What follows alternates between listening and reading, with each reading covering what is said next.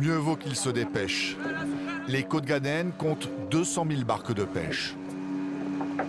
Autant dire que les bancs de poissons se font rares au fur et à mesure des années.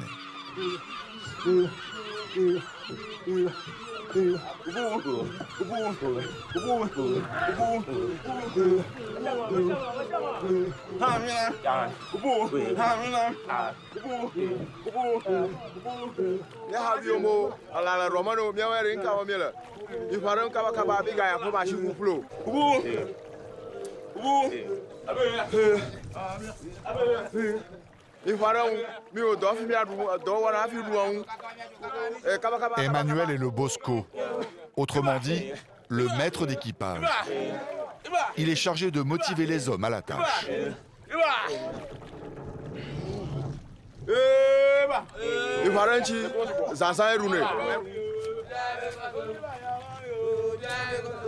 Viens pas, viens pas, viens pas. Parle, mais parle. Viens ailleurs. Viens là-bas, viens là-bas. Disons, disons, coco. Viens, pas même pas une joie. Viens, vous pouvez, viens, viens, viens, viens, Ah, je sais. Ông vừa ông là ba. Đã cho đi. Là ba là ba phía. Là ba. Ông vừa ông ông ông. Ông vừa. Ông vừa. Ông vừa. Ông vừa. Ông vừa. Ông vừa. Mi mi.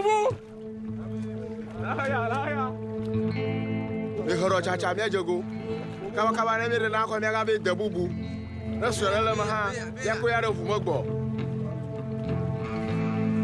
Il n'y aura pas de deuxième fois. La pêche est loin d'être miraculeuse. Une centaine de kilos tout au plus. Et seulement des petits poissons.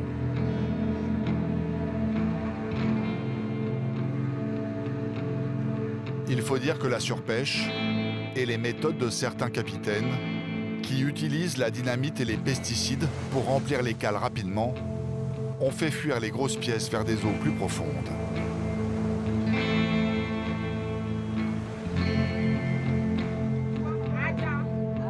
Sur la plage, des dizaines de femmes scrutent l'horizon.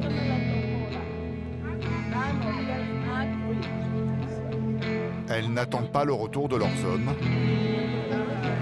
Elles sont poissonnières.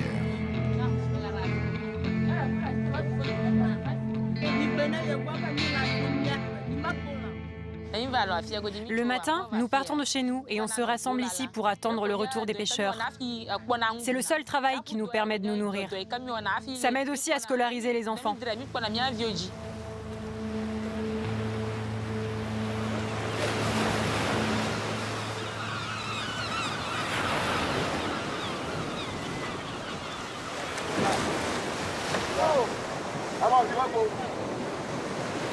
Leur déception sera grande.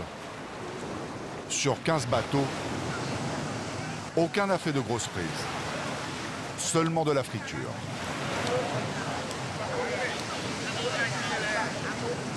La bataille des poissonnières commence. Il n'y a pas assez de poissons pour tout le monde.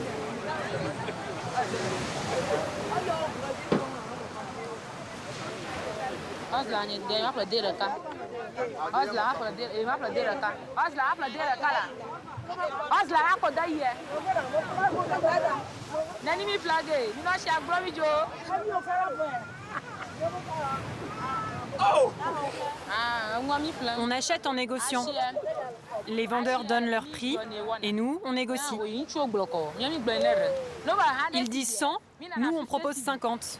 Ils disent 200, nous 100.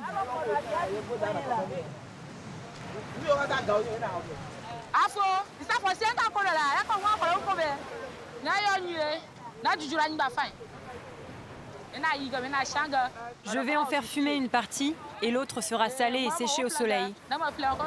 Après, je vais aller les vendre au marché.